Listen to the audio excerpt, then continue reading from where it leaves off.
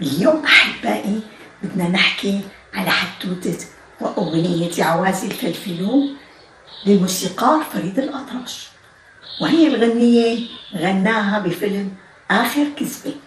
وكانت بطولة فريد الأطرش وسامية جمال عام 1950 ومنعت هي الغنية بالإذاعة المصرية بسبب جملة يا عوازي الفلفلو.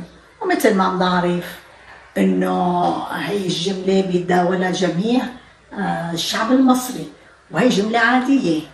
ولكن السبب الحقيقي وراء منع هي الغنية هي المكايدة السياسية بين النحاس باشا وعلي باشا ماهر. والمكايدة كانت على رئاسة مجلس الوزراء بعصر الملك فاروق. وبالآخر نتيجة المكايدة تم فوز النحاس باشا للسنة الثالثة. وبطريق الصدفة كانت هي الغنية عم تنزع بنفس الوقت يا عوازي الفلفل. أنصار النحاس باشا كانوا كتير مبسوطين. ولكن علي باشا ماهر أبدا ما كان مبسوط. وكان دائما يتردد على قصر عابدين مكان وجود الملك فاروق.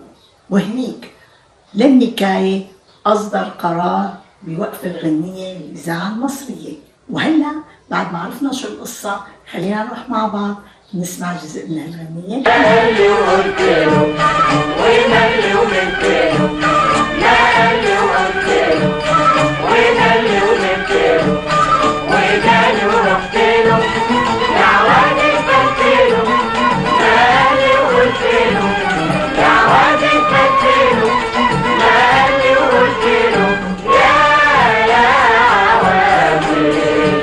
sempre.